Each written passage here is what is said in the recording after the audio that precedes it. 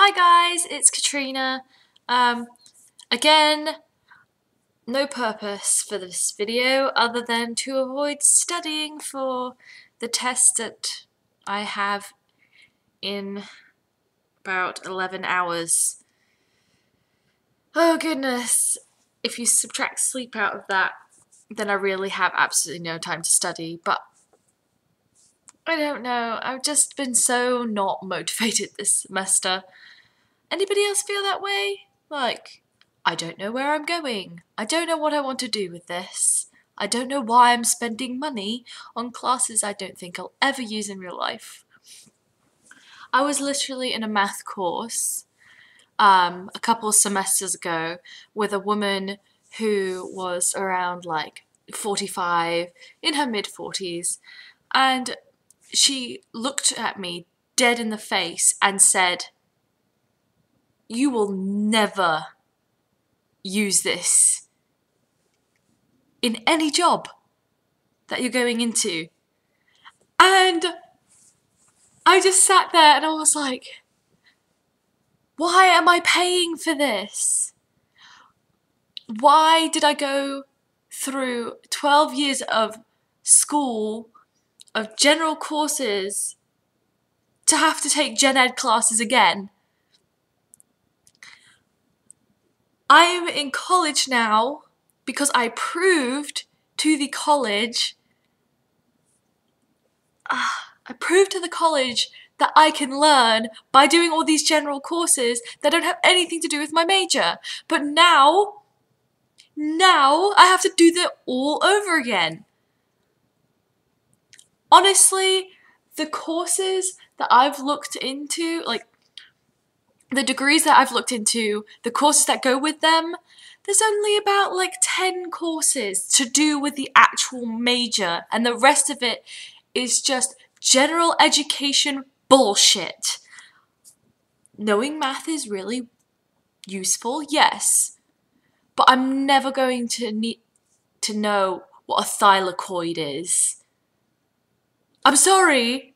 And and if you are um now in some sort of nice professional office job with nothing to do with biology, tell me if you know what a thylakoid is without looking up the definition, because I bet you you don't fucking know. And if you do, congratulations to you because I can't grasp it. And that is what I need to be studying right now. Uh, it just seems so pointless to me. So pointless. Ah, and I mean, watching YouTube videos and people like, Dan is not on fire, or actually, no, any one of the people who are on YouTube right now who are doing it as a profession, or like people like Oh Hey Claire, who have like a freelance, like awesome, artistic, like job, and they're their own boss and all this, and they didn't go to school for it, and I'm just sitting here like, I don't even know what I want to do, why I'm in school.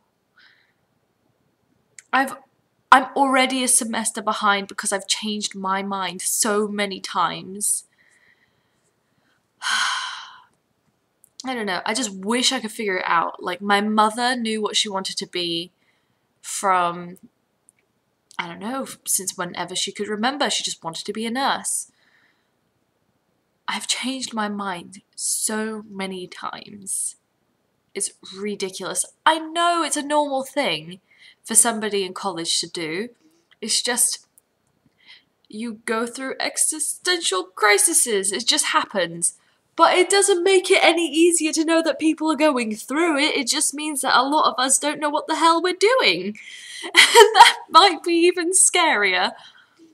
So, I guess I'm just figuring this out.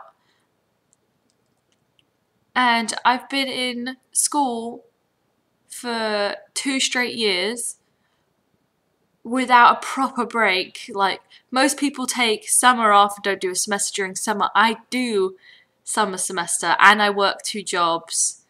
I go to school, and it's just whine, whine, whine, complain, complain, complain. I don't know.